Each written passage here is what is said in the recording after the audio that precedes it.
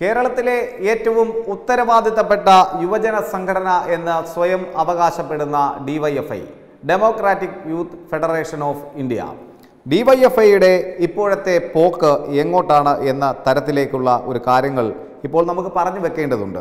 കാരണം ഡിവൈഎഫ്ഐ എപ്പോഴും ഒരു അവരുടെ കൂത്തുപറമ്പ് രക്തസാക്ഷിത്വ ദിനം വളരെ സമുചിതമായിട്ടാണ് ആഘോഷിക്കുന്നത്.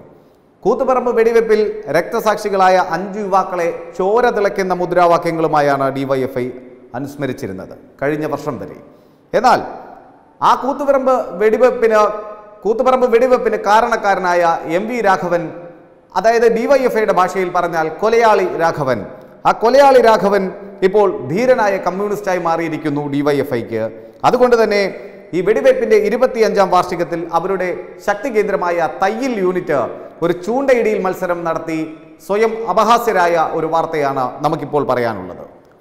ചോര തിളയ്ക്കുന്ന മുദ്രാവാക്യങ്ങൾ കൊണ്ട് യുവത്വത്തെ തെരുവിലേക്കിറക്കി കൂത്തുപറമ്പ് രക്തസാക്ഷി ദിനാചരണം നടത്തിയ പ്രിയപ്പെട്ട ഡിവൈഎഫ്ഐ സഹോദരങ്ങളെ നിങ്ങൾ ഇപ്പോൾ എന്താണ് ഇത്തരത്തിൽ കൊലയാളി രാഘവനെ വിശുദ്ധനായ ഒരു കമ്മ്യൂണിസ്റ്റുകാരനായി അവരോധിക്കുന്നത്?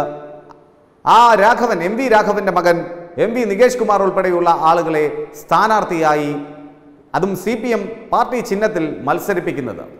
നമുക്കറിയാം കൊലയാളി രാഘവൻ ധീരനായ കമ്മ്യൂണിസ്റ്റായി.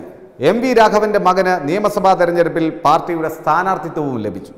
ഡിവൈഎഫ്ഐ രക്തസാക്ഷിത്വ ദിനാചരണം അവർക്ക് തന്നെ ബാധ്യതയായിക്കൊണ്ടിരിക്കുന്നു എന്ന ഒരു കൗതുകകരമായ കാഴ്ച.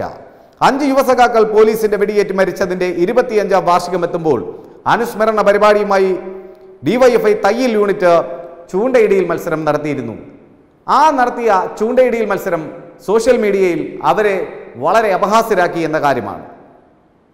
നമുക്കറിയാം ചൊക്ലി മേനപ്പുറത്തെ വീട്ടിൽ കിടക്കയിൽ ഇരുപത്തിയഞ്ച് വർഷം പൂർത്തിയാക്കുന്ന ജീവിക്കുന്ന രക്തസാക്ഷി പുഷ്പന് ചരിത്രത്തിന്റെ മുമ്പിൽ ഒരു ചോദ്യചിഹ്നമായി മാറുന്നു എന്നതുകൂടി നമ്മൾ ഇവിടെ അനുസ്മരിക്കേണ്ടതുണ്ട്.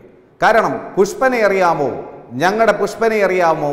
സഖാവിനെ അറിയാമോ? ആ രണഗാഥ അറിയാമോ? എന്ന് പാടിയ ഡിവൈഎഫ്ഐ പ്രവർത്തകരെ നിങ്ങൾ കൂത്തുപറമ്പ് വെടിവെപ്പ് നടന്നിട്ട് കാൽ നൂറ്റാണ്ടിന്റെ ആഘോഷ ആചരിക്കുമ്പോൾ അത് ചൂണ്ടയിടിയിൽ മത്സരത്തിലൂടെ അതിന്റെ ഒരു പ്രസക്തി തന്നെ ഇല്ലാതാക്കുന്ന തരത്തിലേക്ക് മാറിപ്പോയി എന്നതിൽ വളരെ ഖേദമുണ്ട്.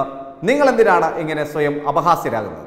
നിങ്ങൾ പറഞ്ഞ കൊലയാളി രാഘവൻ ആ കൊലയാളി രാഘവൻ ഇപ്പോഴെങ്ങനെ നിങ്ങൾക്ക് ധീരനായ കമ്മ്യൂണിസ്റ്റുകാരനായി?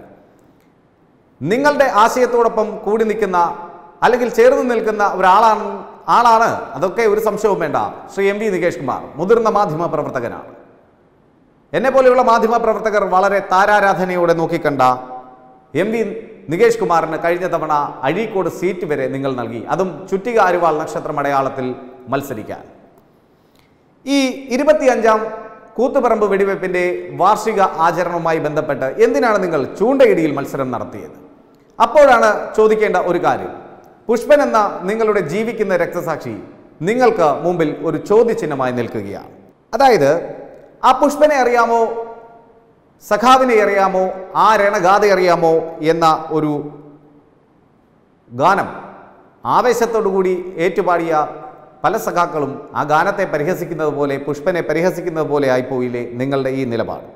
ആയിരത്തി തൊള്ളായിരത്തി തൊണ്ണൂറ്റി നാല് നവംബർ ഇരുപത്തിയഞ്ചിനായിരുന്നു കേരളത്തെ ഞെട്ടിച്ച കൂത്തുപറമ്പ് വെടിവെപ്പ്. അതിനെ ഒരു തരത്തിലും ന്യായീകരിക്കാനാവില്ല. സ്വാശ്രയ വിദ്യാഭ്യാസ പ്രശ്നവുമായി ബന്ധപ്പെട്ട് മന്ത്രിമാരെ വഴിയിൽ തടയാൻ ഡിവൈഎഫ്ഐ തീരുമാനിച്ച സമയം. കൂത്തുപറമ്പിൽ അർബൻ സഹകരണ ബാങ്ക് സായാഹ്ന ശാഖ ഉദ്ഘാടനത്തിന് എത്തിയ മന്ത്രി അന്നത്തെ മന്ത്രിയായിരുന്ന എം വി രാഘവൻ ചടങ്ങിൽ അധ്യക്ഷത വഹിക്കേണ്ടിയിരുന്ന മന്ത്രി എൻ രാമകൃഷ്ണൻ സംഘർഷത്തിന് സാധ്യതയുണ്ടെന്ന പോലീസ് മുന്നറിയിപ്പ് മാനിച്ച് മടങ്ങിപ്പോയി. പക്ഷേ എം വി രാഘവൻ എന്ന പഴയ കമ്മ്യൂണിസ്റ്റുകാരൻ സി എം ബി രൂപീകരിച്ച് യു ഡി എഫിന്റെ പാളയത്തിലേക്ക് എത്തി അന്നത്തെ സഹകരണ മന്ത്രിയായിരുന്നു എന്നതാണ് എന്റെ ഓർമ്മ. തെറ്റാണെങ്കിൽ നിങ്ങൾ ക്ഷമിക്കുക. അദ്ദേഹം പതിനൊന്ന് അൻപത്തി അഞ്ചായപ്പോഴത്തേക്കും പോലീസ് സംരക്ഷണയോടെ ആ സഹകരണ ബാങ്കിന്റെ ഉദ്ഘാടന ചടങ്ങിലേക്കെത്തി. മുദ്രാവാക്യവുമായി ഇരമ്പിയാർത്തെത്തിയ ഡിവൈഎഫ്ഐ പ്രവർത്തകർക്ക് നേരെ പോലീസിന്റെ ലാത്തി ചാർജ് തിരിച്ച് ഡിവൈഎഫ്ഐക്കാരുടെ നേരെ വകയായി പോലീസിന്റെ കല്ലേറ്. ചിതറി ഓടിയവർക്കിടയിലൂടെ മന്ത്രിയുടെ വാഹനം ടൗൺ ഹാളിലേക്ക് മന്ത്രി ഹാളിൽ കയറുന്നതോടെ റോഡിൽ വെടിവെപ്പ് തുടങ്ങി. ഹാളിനുള്ളിലും ലാത്തി ചാർജ്. പലരും അടിയേറ്റു വീണു. പോലീസിന്റെ വലയത്തിൽ സുരക്ഷിതനായി നിലവിളക്ക് കൊളുത്തി ബാങ്ക് ഉദ്ഘാടനം ചെയ്ത എം പി ആർ. പതിമൂന്ന് മിനിറ്റ് പ്രസംഗിച്ചു. അത് വീണ്ടും പ്രകോപനമുണ്ടാക്കി. പോലീസുകാരുടെ കനത്ത വലയത്തിലൂടെ പുറത്തേക്ക് ഇറങ്ങിയ മന്ത്രി തിരിച്ച് കണ്ണൂരിലേക്ക് പോയി. ഇതിനിടെ ഇതിനിടയിൽ പോലീസ് കണ്ണീർ വാതക ഷെല്ലുകൾ പൊട്ടിച്ചു. എന്നിട്ടും ഡിവൈഎഫ്ഐ സമരോത്സുകതയുടെ ഭാഗവുമായി അവിടെ പിരിഞ്ഞു പോയിരുന്നില്ല. ആ ജനക്കൂട്ടത്തിന് നേരെ പോലീസ് വീണ്ടും വെടിയുതിർത്തു. ഡിവൈഎഫ്ഐ കണ്ണൂർ ജില്ലാ vice president K K Rajeevan ജില്ലാ സെക്രട്ടേറിയറ്റ് അംഗം കെ വി റോഷൻ പ്രവർത്തകരായ വി മധു ഷിബുലാൽ കുണ്ടുചിറ ബാബു എന്നിവർ അവിടെ വെടിവെപ്പിൽ കൊല്ലപ്പെടുന്നു. അവരാണ് ധീര രക്തസാക്ഷികളായിട്ടുള്ള അഞ്ച് കൂത്തുപറമ്പ് രക്തസാക്ഷികൾ. പുഷ്പൻ മാങ്ങാട്ടിടം മങ്ങാട് സജീവൻ കൂത്തുപറമ്പ് ചാലിൽ സജീവൻ തലശ്ശേരി കപ്പണം പുങ്ങാഞ്ചേരി പ്രസാദ് എന്നിവർക്ക് പരിക്കേറ്റു. കൂത്തുപറമ്പ് യുവജന സമര തീക്ഷ്ണതയുടെ പ്രതീകമായി മാറി. കാലം മാറി സി പി എമ്മിന്റെ നിലപാട് മാറി ഡിവൈഎഫ്ഐയുടെ നിലപാട് മാറി. സി പി എം നേതാക്കളുടെ മക്കൾ സ്വാശ്രയ വിദ്യാഭ്യാസ സ്ഥാപനങ്ങളിൽ ചെക്കേറി. സി പി എമ്മിന്റെ ഭരണകാലത്ത് പുതിയ സ്വാശ്രയ വിദ്യാഭ്യാസ സ്ഥാപനങ്ങൾ തുടങ്ങി. പരിയാരം മെഡിക്കൽ കോളേജിന്റെ ഭരണം പിടിച്ചു. അപ്പോഴും കൂത്തുപറമ്പ് രക്തസാക്ഷി ദിനാചരണത്തിൽ ഡിവൈഎഫ്ഐ ആവേശം ഒട്ടും കുറച്ചിരുന്നില്ല.